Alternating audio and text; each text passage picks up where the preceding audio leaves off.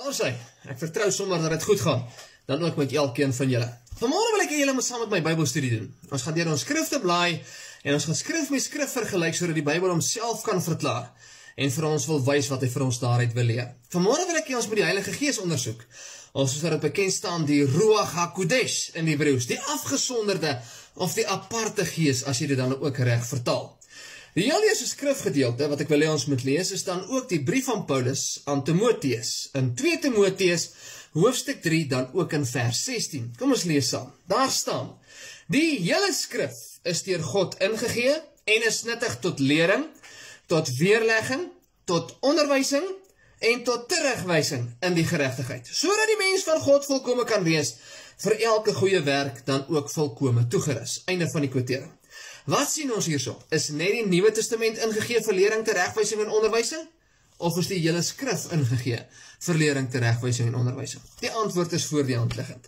Vader het die hele skrif vir ons gegee en Paulus herinner ons daaraan dat ons die hele skrif moet ondersoek wanneer ons iets soos die Heilige Gees of die wet of enige onderwerp wil ondersoek, moet ons nie net ons fokus um toespits op die Nuwe Testament nie, maar moet ons die hele skrif as bron gebruik om dan ook hierdie term of hierdie onderwerp dan te ondersoek. Nou vanmôre is geen uitsondering nie.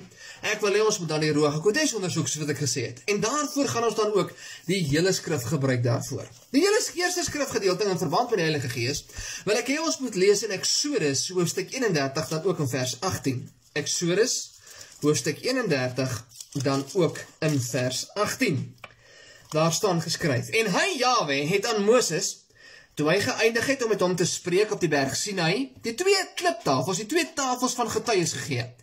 Tafels van klip, beskrywe met die vinger van God. Ek wil tog julle aandag daarop vestig en lê daarna dat die twee kliptafels waarop die wet geskryf was, die 10 gebooie, beskrywe was met die vinger van God. Goed, onthou dit. Kom ons blaai nou terug na die evangelie van Lukas. Dan ook hier in die Nuwe Testament en ons lees Lukas hoofstuk 11. Lukas hoofstuk 11, dan lees ons daar saam. Nou wat hier gebeur het in die voorafgaande gedeelte, Joshua het nou net 'n duiwel uitgedryf. En hier kom die Fariseërs en hierdie uh, dominees van die dag en hulle beskuldig van Joshua vir Joshua en sê dat hy hierdie kragte doen deur die god van vlee, Beelzebul. Jy weet hulle het nou vir Joshua gesê hy's 'n satanis, as jy net nou soveel woorde kan sê. En toe antwoord Joshua hulle terug hier in Lukas hoofstuk 11 vers 19 en 20. Joshua sê: "En as ek deur Beelzebul die duiwels uitdryf, deur wie dryf julle seuns hulle uit?" Daarom sal hulle julle regters wees. Maar as ek deur die vinger van God die duiwels uitdryf, dan het die koninkryk van God waarlik by julle gekom. Wat sien ons hierso? Onmiddellik sien ons hier dat die Fariseërs en die skrifgeleerdes en die wetgeleerdes, die predikante van Yeshua se dae, beskuldig Yeshua se dae dat hy 'n duiwelsbesete is, dat hy 'n satanis is en dat hy hierdie kragtige werke dan ook doen deur Beelzebul, die god van vlee. Yeshua sê nee, as dit so is dan ehm um, dan eh uh, ehm um, dan gaan nie hulle seuns hulle regters wees. Maar hy korrigeer hulle en sê dat hy die krag te doen deur die vinger van God.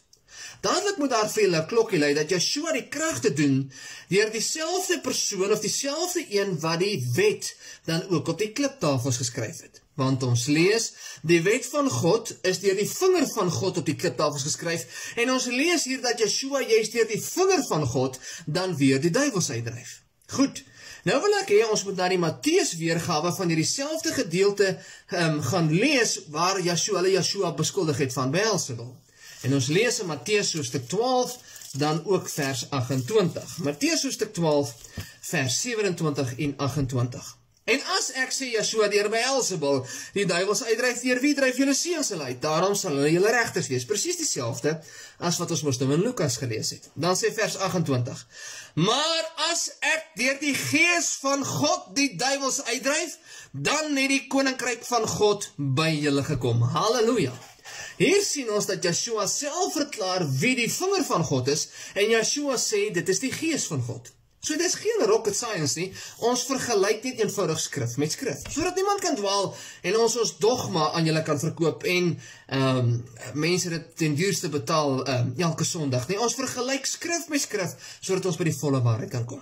Hier sien ons dat die vinger van God is die gees van God. Dis weet ons dat die gees van God het die wet van God dan ook op die kliptafels geskryf.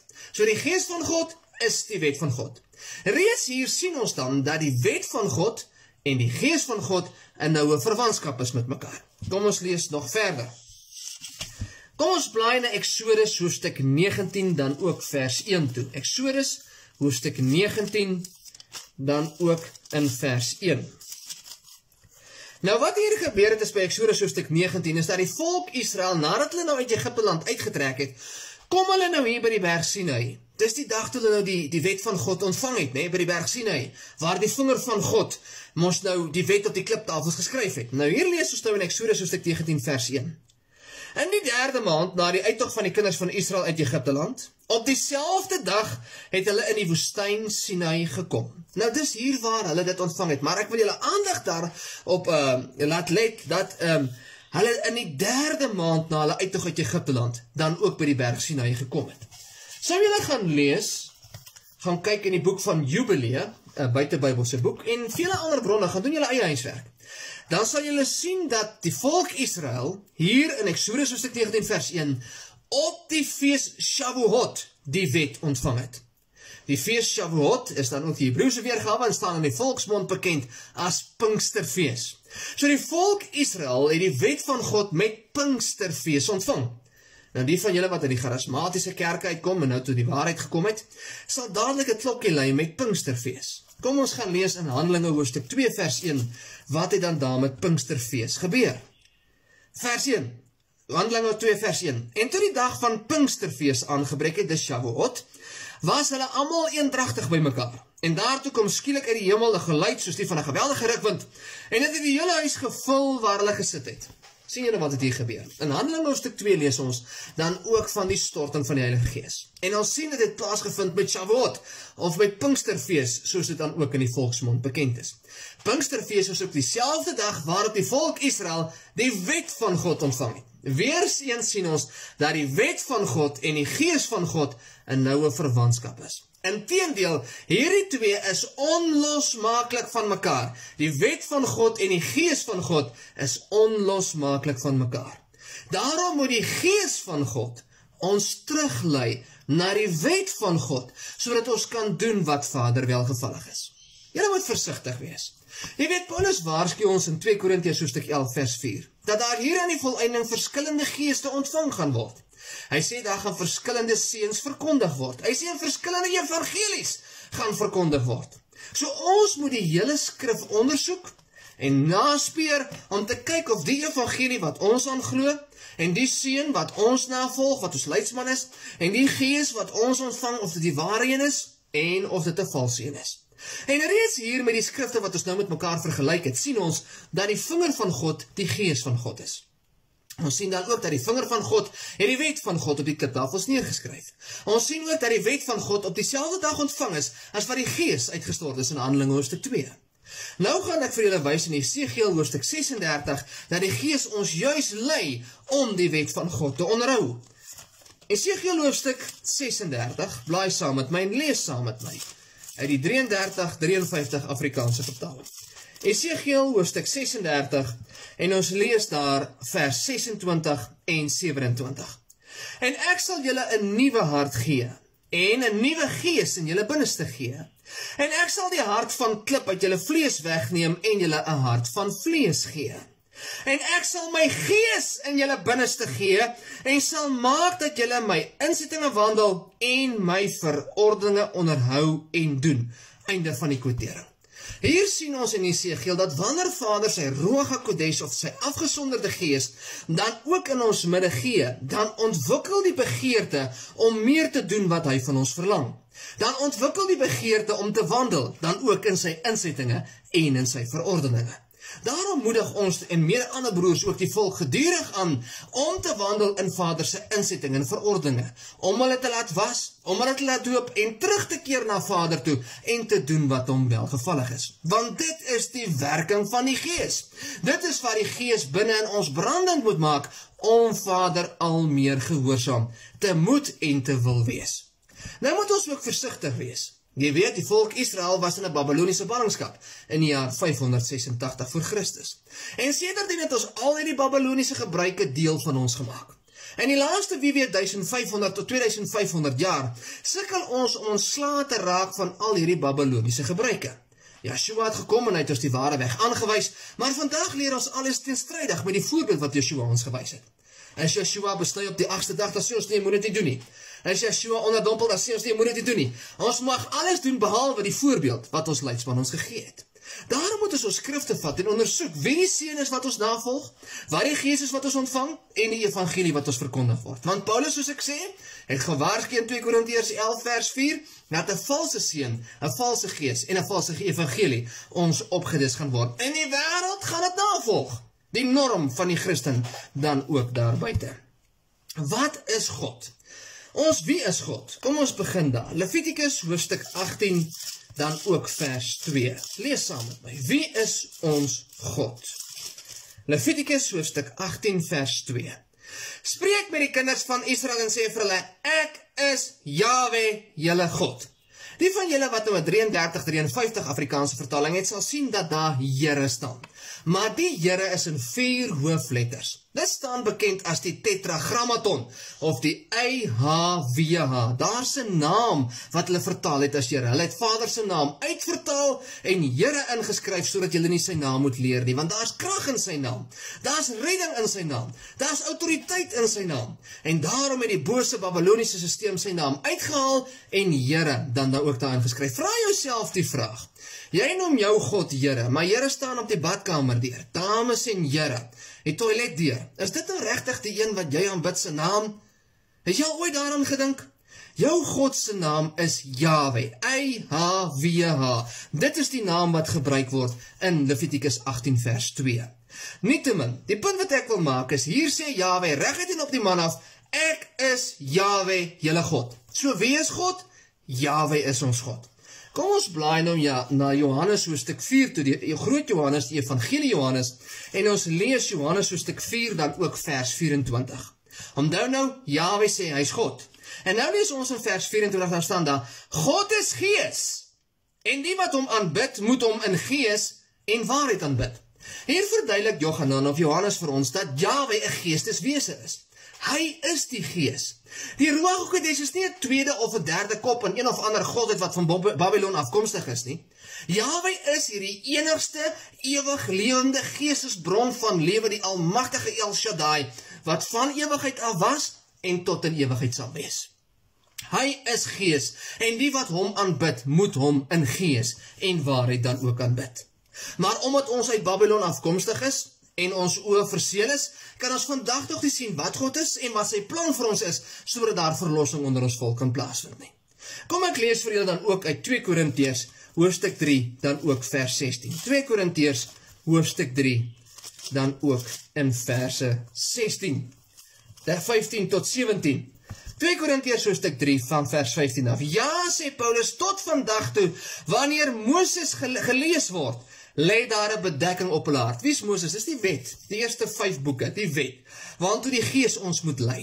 Hy sê tot vandag toe wanneer Moses gelees word, lê daar 'n bedekking op hulle hart. Hulle kan nie sien wat hulle lees nie. Dis vir hulle gebod op gebod, reël op reël. Hulle kan nie sien dat dit die aard en die karakter van ons Vader is. Dat dit is wat hy wil hê, dit is wat hy verpes, dit is wat hy vir vir um, ons ons verhoed om te doen en dit is wat hy ons aanmoedig om te doen. Hulle kan dit nie sien nie. Vir hulle is dit gebod op gebod, reël op reël, hier 'n bietjie, daar 'n bietjie, want daar is 'n gees van diepe slaap oor hulle uitgegiet, sê Jesaja hoofstuk 29. En hier sê Paulus presies dieselfde. Hy sê ja, tot vandag toe wanneer Moses dus die wet gelees word, lê daar 'n bedekking oor hulle hart.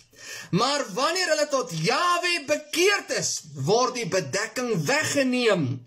Jawe is die Gees. Hier sê hy presies dieselfde as Johannes 4 vers 24.